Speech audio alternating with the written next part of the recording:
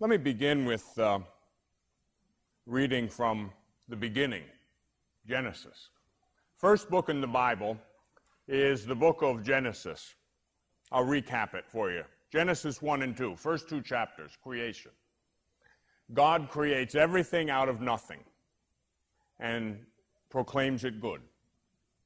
Very, very good. And then Genesis chapter 3. Now the serpent was more subtle or clever than any other of the wild creatures that the Lord God had made. And he said to the woman, Did God say, You shall not eat of any tree of the garden?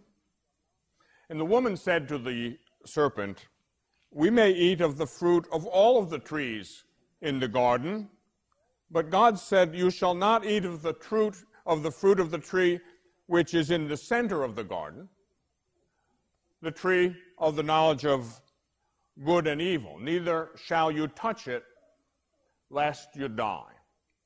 Basically, the devil responded to the woman, Surely you do not believe God, for God knows that if you partake of that forbidden fruit, you yourselves will become like gods, knowing good and evil.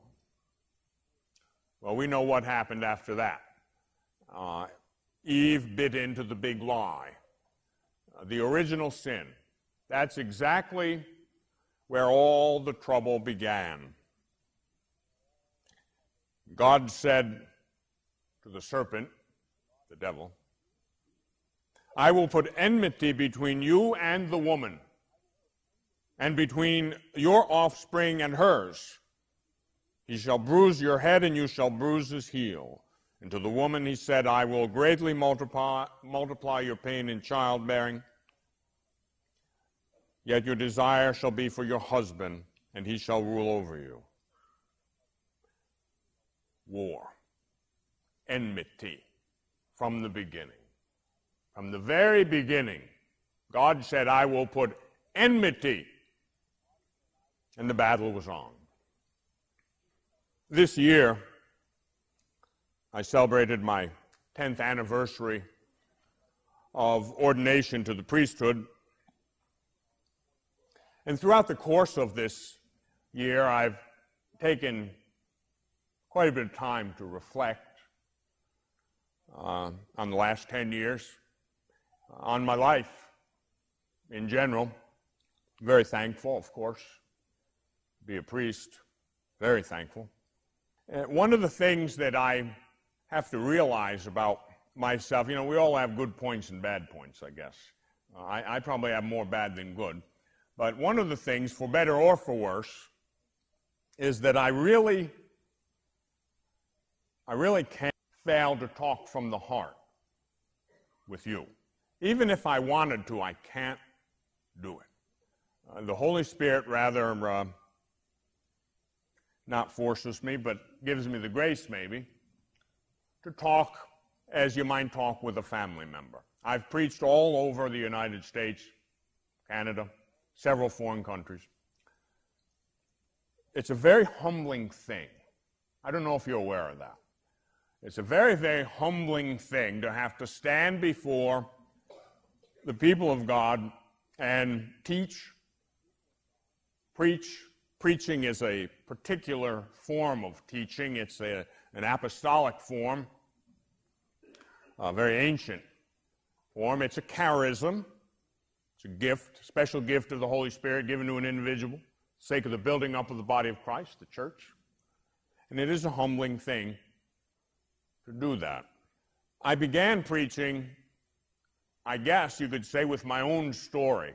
Uh, providentially, my home parish in Hudson, New York, uh, when I was ordained a deacon was St. Mary's Parish. It was the only Catholic church in town. there had been three, but two of them were closed. My parish that I'd grown up in was closed. And the um, administrator of the parish at the time was Father John Bertolucci, who was a rather famous preacher. And um, he started me preaching. I started to travel with him. And that was in, oh, about 1990 when I was a deacon. it's funny how things change as you go along. Uh, he basically forced me to give my personal testimony. You know, it says in Scripture, in the pastoral letters of St. Paul, never be ashamed of giving your testimony. Everybody has a testimony. Never be ashamed of giving your testimony to the Lord. I rather think, in general, Protestants are much better at it than Catholics. They make a, a, a pretty good deal out of personal testimony, giving witness. Give glory to God for what He's done for you. Well, we don't like to talk about it too much. That's not our way. And that's kind of the way it was with me too. But oh, Father Bertolucci, he he kind of brought it out. I mean, he said, You got to do it. You got to share it. And, and I'll never forget it. He shook his head and said, Besides, no one ever had one like yours. now, thank God. Maybe you can tell certain things by titles. You know, the, the title that I've conceived for that personal testimony, I haven't given it in several months, by the way. I don't like it. It is my least favorite thing to do. I don't like talking about it.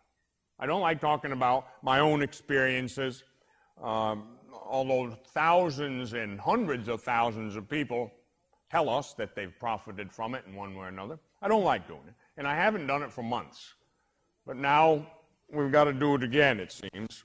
And if, if you can tell anything by titles, you can kind of tell the evolution of a thing by the titles that uh, are conceived in relation to that thing. I remember when I began the title for that, my, my personal story that we came up with, and the darkness could not prevail. Now, that's a, a nice um, kind of biblical, catchy title. The darkness could not prevail. It's reminiscent of the prologue of the Gospel of John, right? Uh, and God said, Let there be light. We know the darkness could not prevail over the light. Well, my life, when I look back on it, it was kind of a battle between light and darkness, good and evil. And so that was a pretty good title when I started out, and the darkness could not prevail. Then time went on. Time has a way of humbling you. And I realized that it wasn't yet over. And so maybe the darkness could prevail. You know, we're not saved till we're in heaven. Contrary to what our good Protestant brothers and sisters talk about, are you saved, brother? I always tell them, I don't know, but when I get to heaven, I'll let you know. you know, we're all redeemed. You know, we, we are, are recipients of the redemptive work of Christ, saved. Well, when I get to heaven, that's when I'm saved. Until then, I work out my salvation in fear and trembling. And so I began to think, well, hmm, the darkness is still battling with the light. And I'm caught right in the middle. And it's not over. And then I, I, I realized that, that my story is about mercy. It's about God's mercy. And I, right at the focal point of my conversion story was God's revelation to me that his very name is mercy. God's name is mercy. He, it really is. God is a merciful God. Now, many of us haven't yet gotten it right. A lot of us grew up in a time where justice might have been stressed a little too much. God is a just God, that's for sure. But mercy prevails over justice. And so, for a long time, the title of my personal testimony was God's Name is Mercy. And then in the last couple of months, the events of September 11th and following, of course, caused, probably caused all of us to take stock of a lot of things, right? To, maybe we even went to confession. I did. Hey, I'll tell you what, I, I, I wasn't conscious of any enormous sins, but I felt a lot better walking out of the confessional. In the light of what was going on, I wasn't taking any chances. Hey, I fly all the time. Right? I'm on airplanes most of my life. And in considering my life, another title jumped up Ground Zero. Ground Zero, that's what I feel like nowadays. I feel like my life story could be titled Ground Zero. From beginning to the present day, I feel like I was born into an era and time of conflict. I was born May 20th, 1947, hmm, right after World War II. I'm a classic baby boomer. My dad, like so many men and women, my, my mother was in the military too, you know. My mother was an officer. My dad wasn't even an officer. My mom was an officer. She would often remind him of that as well. And pull rank. Didn't do her any good, though. my dad was Italian, old, old time, chauvinist type Italian. Conflict. It was a time of conflict. When I look back on just my family, you know, I think about my grandfather, my mother's dad, my maternal grandfather. Uh, he enlisted in the Army in World War I. He was a sergeant in the United States Army. World War II, my dad, his younger brother's Korea. 1967, I enlisted in the Army, Vietnam conflict. A time of conflict in the world. An atomic bomb, a couple of them, were dropped on cities in Japan. That's ground zero. And then again, the term comes up in the last couple of months, right? Ground zero, World Trade Center. And looking back on it, I can't help but think that I was caught most of my life in ground zero. What do I mean by that? Well, I think in explaining my life, it sums up a lot. I'm not that odd. An awful lot of people from my generation uh, kind of feel the same way and fall in the same category. We were subjected to the same pressures. Things were changing. There was a dynamism at work in those years immediately following World War II. Morals began to unravel. In my own lifetime, I can think of the battle, the conflict, the enmity involved in the, the moral battle that took place in our country and in the world. When I was a boy, the United States was an extremely moral place. Now, you understand, I know, that when I say these things, I'm speaking in, in general terms. Obviously, there's always been sin. Uh, we've never had a perfect country. No one ever had a perfect country because countries are made up of human beings, and human beings are sinners. And so, to a greater or lesser extent, every country is imperfect, but I believe that we had a tremendous country, moral country. I remember when I was a boy how wholesome, thinking back on it, you know, how wholesome the environment was in this country. We never worried about crime. I don't know about how it was up, up here back in the 50s, let's say. But where I grew up in upstate New York, you didn't have to lock your door back in the 50s. There was no such thing. We didn't have that. I know, uh, I knew a police officer lived right across the street from us. Old cop, he was a cop 40 some years. And he told me, he gave me a price. He retired from the police force, and he gave me a bullet. And I was a kid at the time, you know, and I was mightily impressed by um, Sergeant Pizarro gave me a bullet from his gun. He had carried the same six bullets in his service revolver for 45 years. they looked old. Old 38 special bullets, they were corroded. Same bullets in the gun for all that time. He had never had to fire a shot. That tells you a little something about that period of time that led up, oh, I would say he retired around 1962 or so. Things began to change. I went into high school, 1961. Things began to ferment. It was a spirit of rebellion. It was the me generation. I got to be free. I got to be me. Meaning I want to do what I want to do. Morality, ah, that's relative, the false philosopher said. Religion, well, that's good for grandma, mom. I got to go on Sunday, and did. I came from a household where mom was like, well, you could have given her the other, her other title, Sergeant First Class. when mom said do it, you did it. God forbid if it had to go to dad. But I got to be, oh, probably 15. And do you know how it is when you're 15? Having acquired all possible knowledge, thus unable to be told anything for the simple reason that I already knew everything, I began to sneak off to the pool hall on Sunday mornings. We had a rather notorious pool hall. I grew up in Hudson, New York. Now, I didn't know it until the last two weeks, but Hudson, New York was one of the most notorious towns on the East Coast.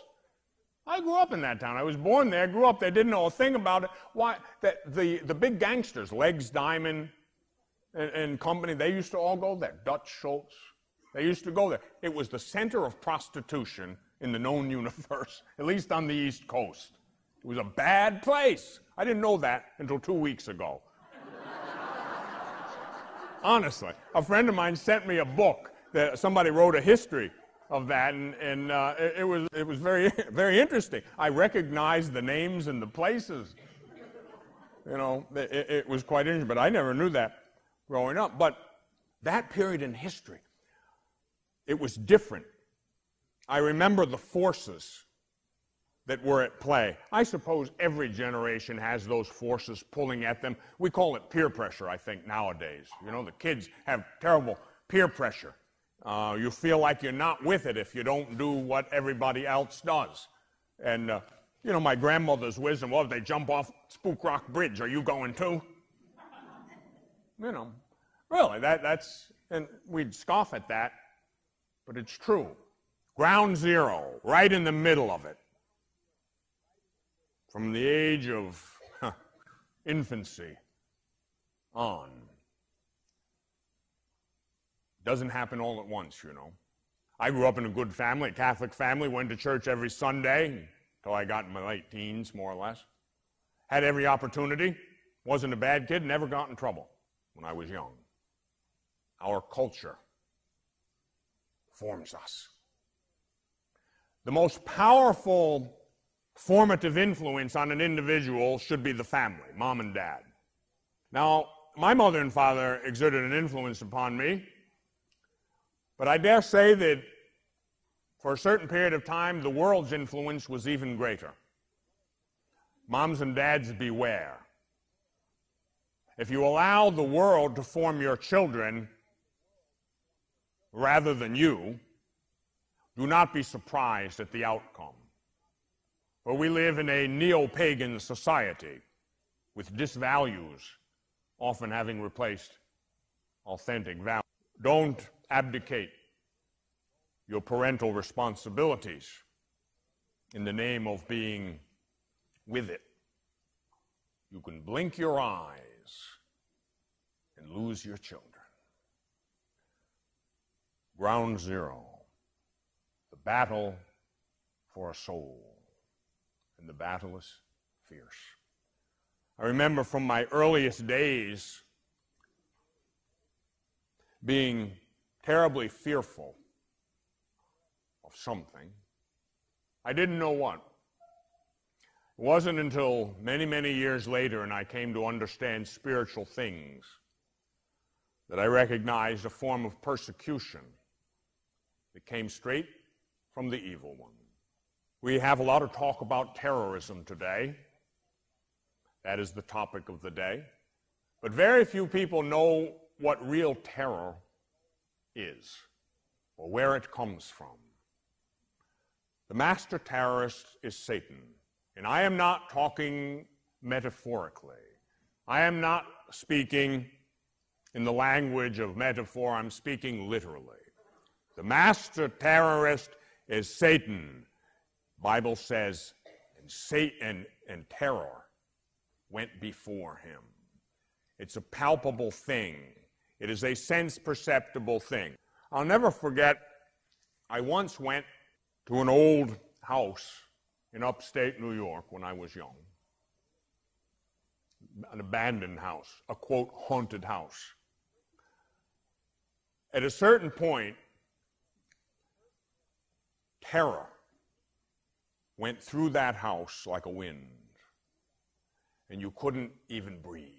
Years later, in the midst of assisting at an exorcism, I encountered the same thing again. And this time it's reaction to the name of Jesus. Yes, the master terrorist is Satan. And that battle has been going on since the beginning. Since the angels fell, since darkness entered Eden. And the outcome of that battle is what determines the outcome of every other battle. I think everybody longs to be special. Everybody longs to be looked up to. I don't know about you, but when I was a boy, I wanted my parents to be proud of me. I wanted my friends to look up to me, but I was so shy that I couldn't possibly do anything toward that end. I don't know if any of you ever experienced this, but when I was a little boy, I was so painfully shy, frightened, I don't know, you could call it inferiority complex, any number of things. Uh, I wouldn't go to school. My mother literally had to drag me to school. Now, it, it almost sounds funny, but it wasn't, I assure you. It was terribly painful. I would sit in the classroom absolutely terrified that I would have to speak in front of the other children. Now, anyone who thinks God doesn't have a sense of humor, listen up. I remember being called on. It's not that I didn't know my lessons or was stupid or something. I was just afraid to open my mouth in front of other people. And it was a, a fear. It wasn't just a fear. It, it was an outright phobia, a terror. I couldn't do it. And that went on for years and years and years. But we all have a desire to be something special. Well, at first it took the form of sports for me. Now, you know, athletics is a good thing. When we were driving to Escanaba from the airport in Green Bay, when we came from the airport, the folks that picked me up showed me Lambeau Field. They knew I admired Coach Vince Lombardi and uh, showed me the field uh, just from the outside. Sports are good. Athletics are good. Competition is good. A lot of people don't think so. I, I really believe it is good. But you've got to remember something it's not an end, it's a means to an end. It can teach you something. Uh, I remember one of the my dad was not a spiritual man. My dad, when he was young, was uh, maybe everything you shouldn't be. He was a gambler, a drinker, chased women, not your particularly wholesome, good dad. He was a, he was a real good athlete. He was a boxer. And one of, the, one of the things he taught me was to never quit. For someone who is in a lifelong fight, that's a good lesson. I remember my father said, he didn't say it. He impressed it on me in the old way, the old fashioned way. I grew up in the good old days. I'm just old enough, I'm not that old, but I'm just old enough to be able to say I grew up in a different time in history, the days before lawsuits, the days before children divorced their parents, you know. The days when, when uh, you know, your grandmother, if you sassed her, might give you one of those. You know what those are? That's an Italian gesture. My father taught me to never quit. Die first. Die first. Don't ever. It's the only lesson that I ever remembered of all the things my father had said to me. It wasn't until the past two years that I came to really interiorize it and understand it as I watched him fight one illness, one infirmity after the other. 34 surgeries in five years. Don't you quit. Ground zero. My life, when I look back on it, really does feel like a war. Athletics began. I didn't go where I wanted to with that. Left me very disappointed. I was injured. Went in the military in the 60s. I aimed high. The Army says, be all you can be. I wanted to. I enlisted 1967, Special Forces, went through all the training, was very proud to be attached to those units. My old unit was the first one in Afghanistan, by the way. That wasn't highly publicized. I knew they'd go. They were they specialized in mountain warfare. 10 special forces. Well, I couldn't do that either. Injured. Went to college. Graduated from college. Nothing clicked. I was successful in everything that I did, but not happy in anything that I ever did. I finished almost everything I ever started. I got my honorable discharges and I got my college degrees, but I was empty. There was something missing. St. Augustine said, Our hearts are restless, O Lord, until they rest in Thee. I will repeat that for those of you from 8 to 80 who have not yet interiorized that reality. Our hearts are restless until they rest in God. Our hearts are empty until they rest in God. Our hearts are broken very often until they rest in God. We want to be happy. That's the end of the human being. What is the object of human existence? Happiness. What does every human being desire? Happiness. But what is it? That's the problem. We don't know. And so we seek happiness in a thousand created. I sought it in sports to be successful, and then in business, and military. One thing, one created thing after left me empty, cold. Money. You know, the world says in order to be something, you got to have some money. Got to have big bucks, right? If you don't have money, you can't do a lot of things. You can't have a lot of things. I grew up relatively poor. And so when the affluent generation of the baby boomers began to hold sway in the 60s and 70s, I was right there, the crest of the wave, pursuing money. Caught up with it, too. Caught up with it in Beverly Hills and Hollywood. After several years working as an accountant, real estate broker, I began to make a lot of money in Hollywood and Beverly Hills. Famous clients, rock stars, movie stars. I thought this would bring me happiness. I remember having, after having made a lot of money, I made my first really large real estate commission.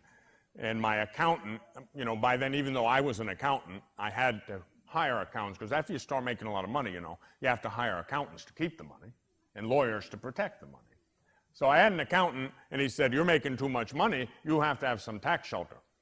And so I went out and bought a new Ferrari, a nice, shiny red one. And I had mine before Magnum PI. And I remember driving it out of the dealership down Rodeo Drive in Beverly Hills. Now, Rodeo Drive is probably the most expensive piece of real estate in the world. The shops on Rodeo Drive, the wealthy people from all over the world that shop there, it is a, it's a very exclusive place. But when you drive a nice, shiny red Ferrari down Rodeo, that even turns heads there. And I remember thinking that I had arrived, finally. I remember thinking as I stopped at a red light there in Beverly Hills, and a group of good looking what we called valley girls were poised on the street corner. They were very good looking girls with very small brains. That's what the definition of valley girls in those days were, in case you don't know. Now, I didn't give them that definition, but that's what the general consensus was at that time. But I liked them quite a bit. And I remember being stopped there and they started pointing and whispering. That's so and so, the movie star. Oh no, that's so and so the producer. Oh no, oh well, I know it must be somebody. And I remember it hit me right between the eyes, and I thought, that's right. Finally, I'm somebody. out of the smoke and fury of a life of fighting and clawing, out of that ground zero, finally, I've made it. Wrong again. Oh, it lasted for a few years. The successes, one after the other. You buy a car and then a bigger car. You get a house and then a bigger house. You get a boat and then a bigger boat. And so forth and so on. And each succeeding step leaves you colder and emptier. I remember one Monday morning after a weekend party at my house, all the jet set people had left, and I was there alone in my 3,000 square foot bedroom, literally. That's bigger than the house I live in now, by the way. My bedroom was almost twice as big as my whole house right now. The house I live in now is about 1,600 square feet. But in any event, there I was. I sat there and I said, This is it. Man, I'm successful. I've made it. I've achieved the American dream. And I remember the emptiness that overtook me. It was terrible. Shortly after that, I ended up in a hospital, a VA psychiatric hospital. Cocaine addict, physically destroyed, emotionally destroyed, spiritually desolate. The attack, it seemed, had me. I came as close to death as you can come, as far as I can tell. Three years of my life, I spent a year in that hospital, by the way, one full year. Never had a visit. My mother came once. But I never had all the friends and groupies, the hangers on. They abandon you like rats off a sinking ship. Such is temporal success and the loss thereof. I remember being released from the hospital and ending up homeless. Now, if you want to talk about ground zero, I can tell you about being homeless. I can tell you about not having any place to live, not knowing where your next meal would come from, having nothing but the clothes on your back.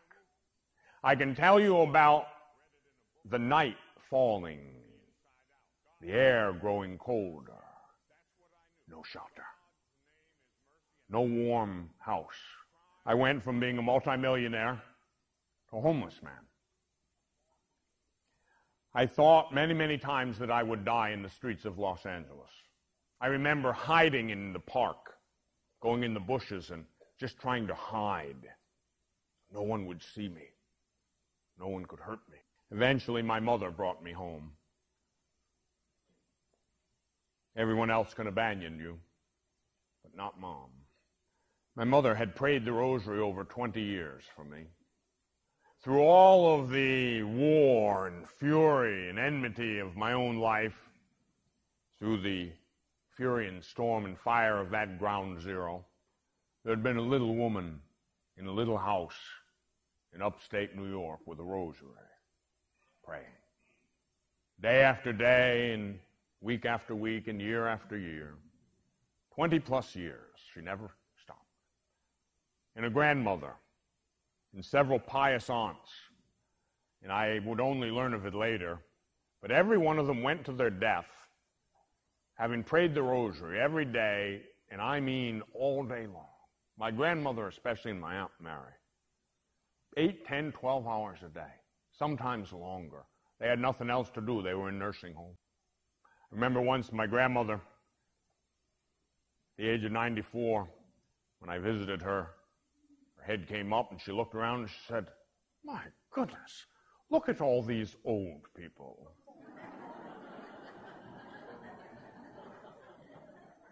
She was 94, the oldest one in the joint. But in the midst of that fury and moral and spiritual fight, I had people praying for me, my family. I have often thanked God for the gift of a good Catholic family. Now, most of you uh, are what I consider the cream of the crop. You're the pillars of the church. Uh, you're the people who care. You're the people who pray, who practice your faith. And many of you suffer because of your children and grandchildren. I know because I was one of the ones that caused that kind of suffering.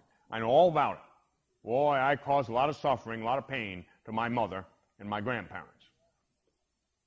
And you also have similar sufferings. Now, I have very, very good news for you this evening. Probably you didn't expect to get this news, but I'm going to deliver it to you right here and right now. Remember, the, the gospel this evening, or the, rather the first reading, talked about um, how blessed the feet of those who bring good news. I got new, good news for you. Your children and grandchildren have no chance of being lost.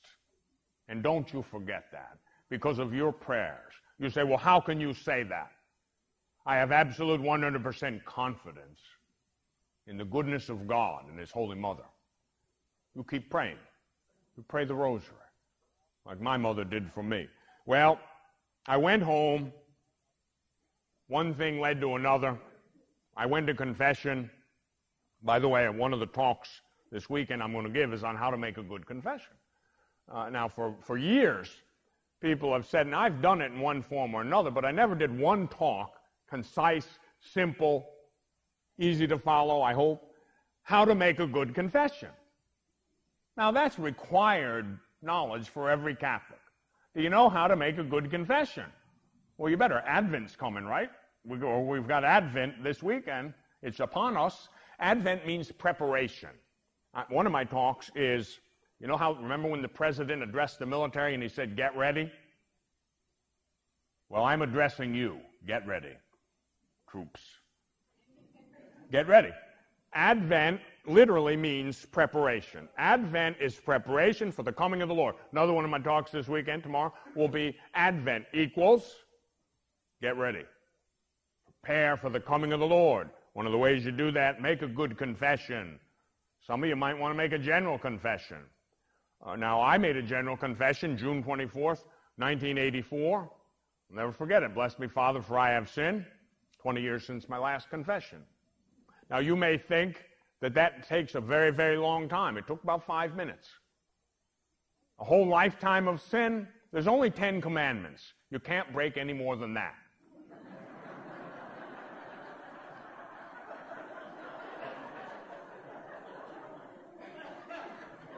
So even if you've been away for a long time, it's not going to take that long. Believe me. People come to me to confession all the time. Say, oh, Father, oh, uh, you know, it's been a long time 30 years, 40 years. I, I don't think you have enough time to hear my confession. I said, ho, ho, ho. I never heard a confession that had to go more than 10 minutes, ever. You don't have to tell every single detail. Well, you're not supposed to, as a matter of fact. A lot of people feel they need to. But with God, you just go right through the, through the commandments. A little help, boom, there it is. You get rid of that burden. The first step to happiness, true happiness, is a good confession. And that takes a little humility. For years, I didn't have it and couldn't do it. And so I was miserable. But then, with the help of the grace of God, bless me, Father, for I have sinned. Boom, blink of an eye. The priest raised his hand and the most beautiful words came out of his mouth. I absolve you from your sins in the name of the Father and of the Son and of the Holy Spirit. The chain. A few years later, seven to be exact, I found myself in St. Peter's Basilica, kneeling before the Pope with his hands on my head. He ordained me a priest.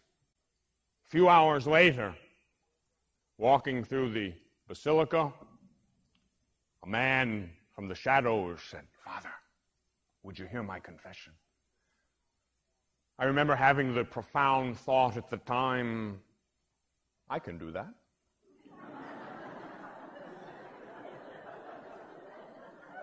and he began, Bless me, Father, for I have sinned. It's 35 years since my last confession. And for the first time, I raised my hand. And the beautiful words came out of my mouth I absolve you from your sins. In the name of the Father, Son, and Holy Spirit. A couple years later, my dad Came down to hear his son preach for the first time in Florida. Spent a couple days, had to leave. It was a Wednesday morning, and he said, Hey, you got a minute for your old man? I said, Well, sure, Dad. You want to have breakfast? He said, No, I want to go to confession. And I heard these words come out of my father's mouth Bless me, Father, for I have sinned. It is 50 years since my last confession. And my dad made the most beautiful confession I've ever heard, on his knees, so reverently. And after I gave him absolution, he said, I've been in the dungeon a very long time, but now I'm free. Now I'm free. And then he began his life all over again. Oh, he was an aging man. Some would say an old man already. And I'll never forget, right after that, he said, I wish I could have been a better father. And God heard the prayer in heaven. And he sent him the most powerful gift that a good God could give to one of his beloved children. As Padre Pio used to say, Jesus gives the biggest share of his cross to his best friend. And my father entered into redemptive suffering. And it was his painful life in the last years that breathed supernatural life into my ministry. Oh, he wasn't the only one. I had a lot of help from a lot of people, but he was a big player. See, there is indeed a war that rages round about all of us. And although I say I feel like my life has been ground zero, many of you can say the same thing. Many of the young people can say it. Some not so young can say it. We feel like we've been through it. We've been scorched by the noonday sun. We've borne the heat of the day. Tough. Yet, if God is for you, who can be against you? And so we press on toward the finish line. I remember thinking after I gave my testimony first couple times, well, this is good. This is a good start to my preaching work. I have a story that I can share with the people. It seems to affect them. And I, I had the mistaken notion, I think, in the beginning that uh, you tell your conversion story and it's a kind of a static thing, kind of a constant thing. But that's not true. I find now 10 years later it's very different. I look back on 10 years of the priesthood that I add on to that first portion of my life. I was ordained at the age of 44. I'm now 54. The last 10 years qualify more for the term ground zero than all the rest of it put together. The last 10 years make the first 44 pale into utter insignificance when you compare the fury, fire, and the strife involved. Priest is at the center of the storm. Why? For a very simple and logical reason. Strike the shepherd, scatter the sheep. The devil is a tactician, he's a strategist, an opportunist and he will do anything he can to strike down a priest. Monday, I have the great privilege and blessing to share some time with some of the priests from the day of recollection. It's a rare privilege. I don't get that privilege too often. I'm thankful for it whenever I do. I don't know if you understand what the life of a priest is. I know you have a rough life too. It's not easy being a parent. Once somebody asked me, hey, you ever wonder why God didn't let you get married and have a wife and children? I said, oh, I know why God didn't let me get married. Well, why is that? He didn't trust me enough. That's a rough job. Being a wife, a husband, parent. Man, today, that's a rough job.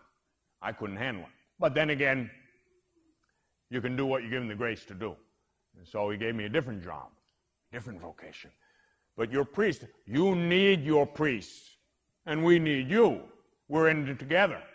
This tremendous spiritual combat that we are faced with, we are in this together. You remember, remember what happened immediately after September 11th? Unity. You remember out of that terrible tragedy came unity. The nation came together. There was strong leadership. Charity began to flourish again. There was a certain dignity restored to public officials. In a few short months, the presidency in the United States of America was so rotten and tarnished that you could scarcely look at it. It was a laughing stock around the world. And in the twinkling of a divine eye, changed. Dignity was restored to public officials. On Monday, we were cursing all the politicians. Tuesday, Wednesday, Thursday, we were rather thankful for solid leadership. God can bring good out of evil. There is a war, a violent war, raging.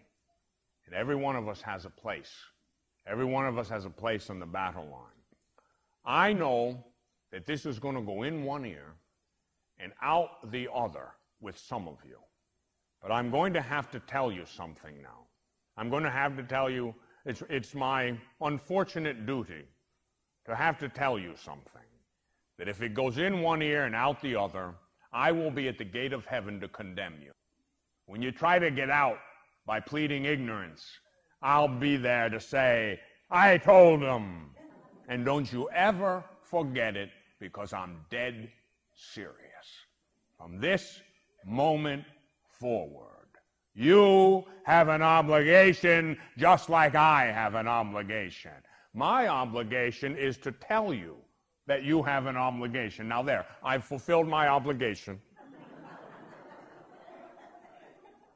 now, you got to do it. What's the it? It's called holiness of life. Jesus gave it to us. It's a mandate, a divine mandate. You must be holy as your Father in heaven is holy. You must be perfect, perfected. Another, I like the other translation. I think it's in Luke. You must be perfected as your Father in heaven is perfect. That gives me hope. I am not yet perfect. Far from it. Perfected. In other words, on the way. We haven't arrived yet. On the way. Take it seriously. Souls will end up in hell because of you and me if we don't take it seriously. I'll never forget an absolutely chilling story from the life of Blessed Padre Pio. Many of you know who Padre Pio was. He, he was a, a Capuchin, Franciscan friar in Italy. In the time of World War II, he, he died in 1968, I believe it was. Beatified, he'll be canonized. Had the stigmata of our Lord. People used to go from all over the world to confession to him. And sometimes he had particular charisms, gifts. He could read people's souls. A woman went to him one time to go to confession, didn't think much of it. She knelt down. He leaped up and chased her out of the church. She didn't say a word. Chased her out of the church. Later that afternoon, she came back and she said, Why did you treat me in that terrible manner? And he said, Because the moment you knelt down, God showed me your three sons in hell. And they're there because of your permissive parenthood. That's why. Now, confess your sins.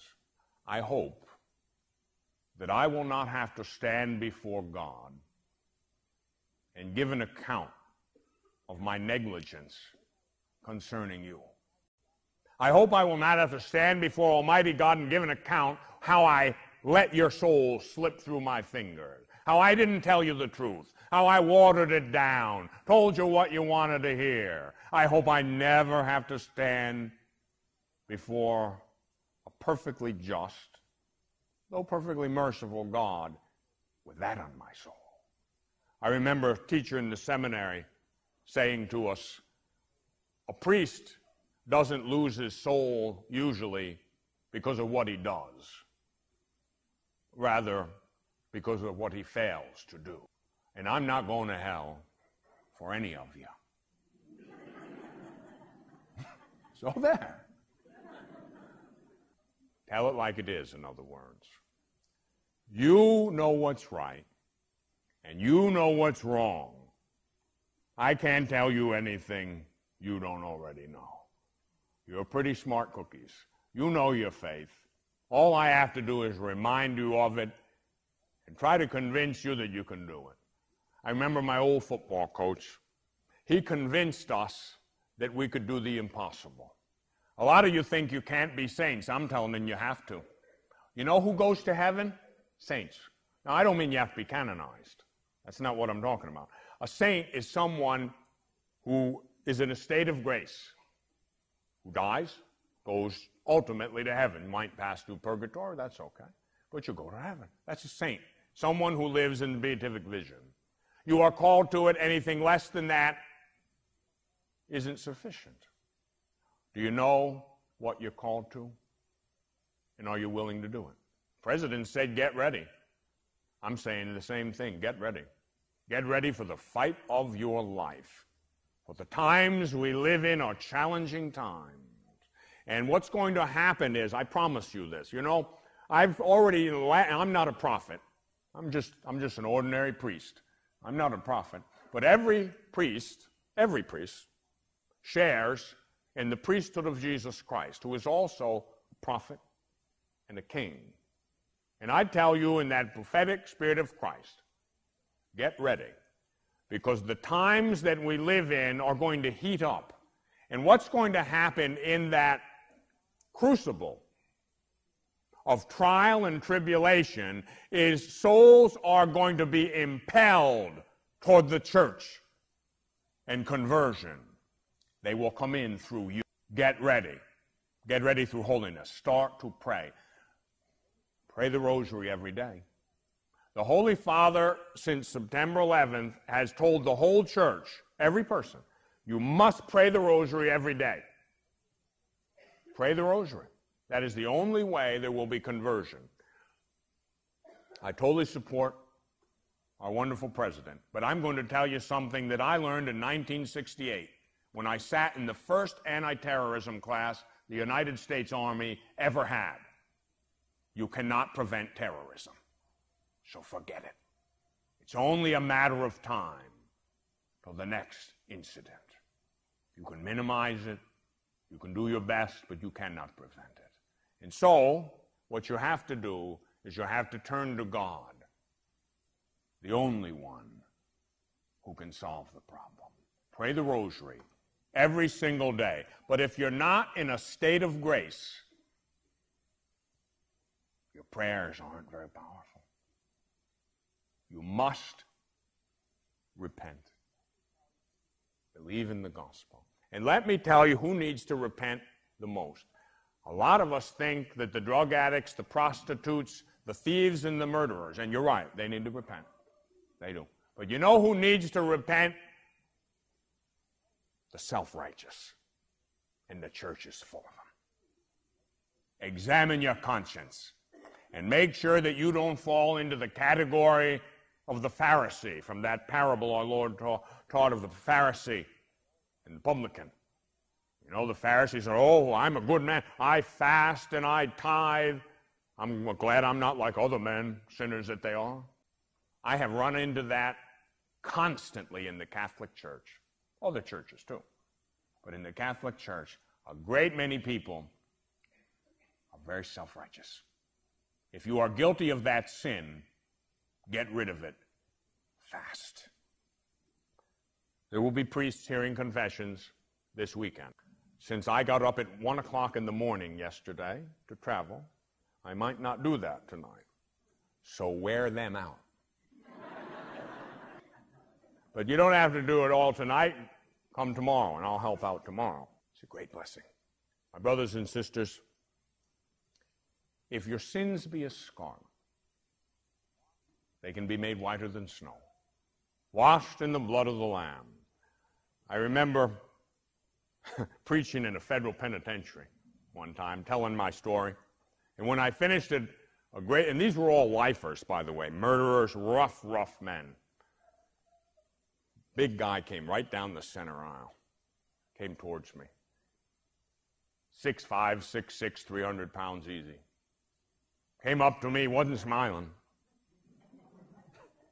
Came, got up to him, and he held out his hand, shaking his head.